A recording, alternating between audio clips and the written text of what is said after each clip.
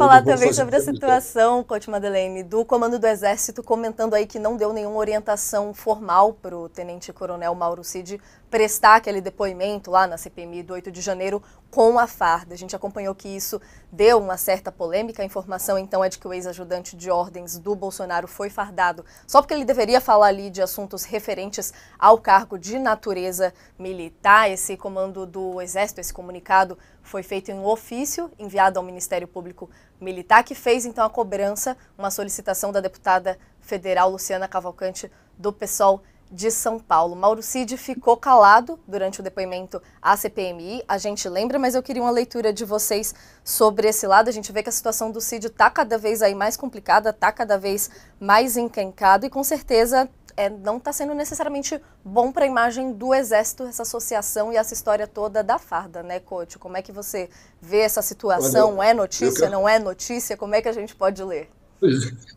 É mais um bom exemplo esse aí, né? de você pegar uma questão lateral, se o cara está de farda ou não está de farda, que é problema dele, né, do jeito que ele está vestido. O problema são as acusações gravíssimas que existem contra esse ajudante de ordens, e isso você desvia o assunto. Em vez de falar dos crimes cometidos por ele e pelo chefe dele, nós estamos discutindo se. É... E esse negócio do Exército dizer que não houve pedido formal, está na cara, pô, ele, ele foi em carro do Exército para lá, foi acompanhado por militares. É cara que falaram para ele fardado para intimidar os deputados, os senadores. Né? E como deu mal, deu, deu ruim, né?